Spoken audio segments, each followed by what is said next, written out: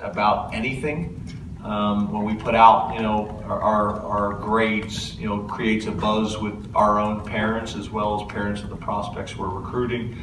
Um, you know, when, when you win a Big Ten championship, that creates a buzz. When um, you know, when when you, when you retain your staff, that creates a buzz. You know, whenever there's positive things going, you know, on in a program, in a program as big as this, with the type of following and support that we have, yeah, there's there's an impact of it. You know, I don't think there's any doubt about it. But um, but you know, for us, number one, it's about our current players and the development of our current players, um, and the morale of our team and the chemistry of our team, and you know. Um, you know, it's, it's more about that, but yeah, there, there's no doubt there's there's other impacts.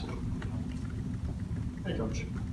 In the back, If you were a top fashion designer, personally speaking, what would have been like your favorite?